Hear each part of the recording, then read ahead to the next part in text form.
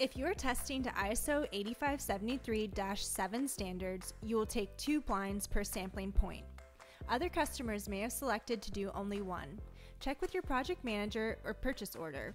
The purpose of taking blind or control samples is to identify if there are any environmental or handling issues that may affect your samples.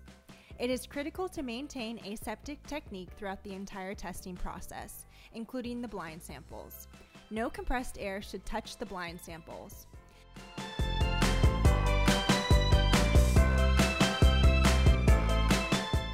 In order to comply with ISO 8573-7, a sterility blank must also accompany the sampling media from start to finish.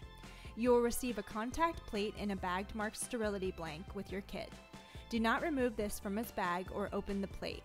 You should keep it with you throughout the duration of your tests. That means you should bring it with you to each sampling point and then, when finished, pack up your sterility blank with the rest of your samples. The sterility blank serves to verify transportation and external handling are not contamination variables.